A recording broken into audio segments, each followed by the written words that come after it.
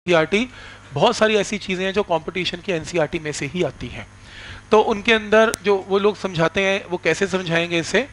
वो ये मानते हैं कि जो रेजोनेंस है, वो एक्चुअल में प्लस वन से शुरू करते हैं कि रेजोनेंस में phenomena of resonance is common among systems that have tendency to oscillate at a particular frequency सारी कहानी को एक लाइन में समझाता हूँ। जैसे एक कोई मान लो, कोई स्विंग ले रहा है, कोई चाइल्ड स्विंग ले रहा है टू एंड फ्रो और आपने उसके ऊपर फोर्स लगानी स्टार्ट कर दी. जब वो राइट जा रहा है या इधर जा रहा है तो फोर्स भी इधर लग रही है. जब वो इधर जा रहा है तो फोर्स भी वैसी लगा रहे हो. तो आप देखेंगे कि वो स्विंग का एम्पलीट्यूड धीरे धीरे इंक्रीज हो जाएगा. बढ़ता जाएगा बढ़ता जाएगा और बढ़ता ही जाएगा.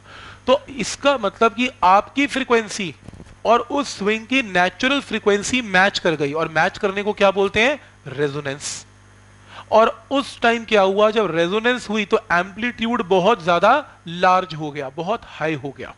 यही रूल होता है रेजोनेंस का। एम्पलीट्यूड बिकम लार्ज जब दोनों चीज़ों की फ्रीक्वेंसी मैच कर गई। लिखा हुआ है you can refer chapter number 14 in class plus one तो ठीक है, हमने कर लिया रेफर अब वापस प्लस टू के अंदर आते हैं।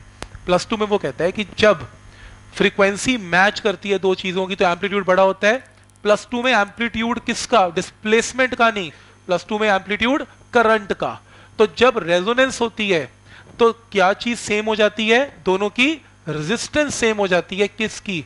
रिएक्टेंस एल की और सी की। और जब रिएक्टेंस सेम हो जाती है तो डिस्प्लेसमेंट नहीं। करंट क्या हो जाता है? मैक्सिमम तो इस कंडीशन को क्या बोलते हैं?